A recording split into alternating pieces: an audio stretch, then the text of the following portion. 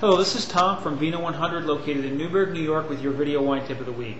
Today I want to talk about wine and food pairing. There's a number of factors you have to think about when pairing a food with a wine.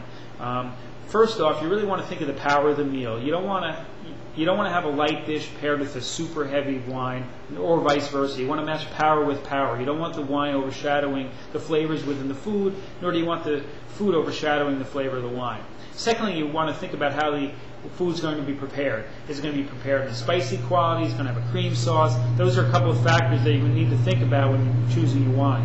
And then lastly, you want to think about whether you want the wine to complement the dish or to contrast the flavors of the food. So let's let's start off with a classic dish, a nice big steak, prepared with a nice spiced rub. A great example of a wine that will go good with that is a nice big bold spicy Shiraz. Um, something that's rich and creamy, has some tannin to stand up to the uh, fat that's present in the steak, but also a nice spicy finish that would complement the spice rub on top. This is the Nugan Shiraz that I carry. It's 12 bucks, unbelievable value. It's delicious. It's 89 in the Wine Spectator, and it's a great buy for 12 bucks.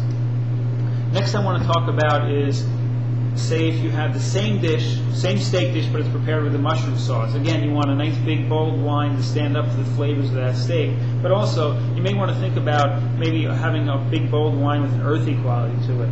Uh, a great wine that I have, or that would pair well with that dish, is a nice Chateauneuf du Pape. It's highly concentrated. It's from the Rhone Valley, France, but it has a nice earthy finish to it, as many French wines do. And the earthy finish will complement the earthiness in the mushroom sauce. Say if you have a chicken dish, a chicken dish prepared maybe in a butter sauce, or you could even uh, pair the same wine with a uh, lobster tail with butter sauce, something rich. You want a nice rich style wine, maybe with a buttery quality to it. A great wine to pair with that would be a nice, uh, nice rich Chardonnay. a great example of a nice rich Chardonnay that I have. Um, I love it because it's also from the Hudson Valley, grown and vinted right up in Gardiner, New York, is a Whitecliff Chardonnay. It's got some nice oak treatment to it. It's seen some oak, so it's got a nice, really rich, buttery quality to it, and it would stand up beautiful to those dishes I just described. Next, I want to talk about, say, a nice light style food, a nice whitefish, and maybe a pan-seared flounder. You don't want something too heavy to overshadow the, the soft, uh, delicate flavors of that flounder. You want something light. Um, say if you pan-sear the flounder, put a little lime juice on top or lemon juice.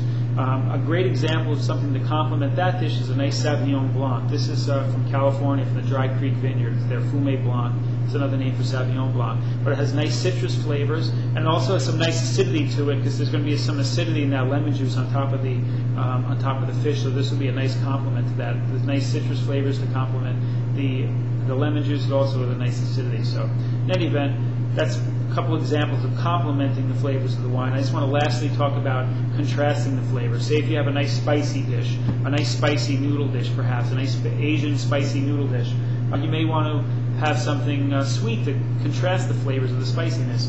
Um, a great example of something that would work well with that is a, a German Riesling uh, with a little bit of sweetness to it. This is uh, Dr. Hermann. It's got nice uh, complexity to it, a little bit of sweetness, uh, and it would be a beautiful complement, or it would be a beautiful contrasting element to that wine and food pairing. So, in any event, if you want any additional information, you can visit my website at freewinetip.com, and thanks for tuning in.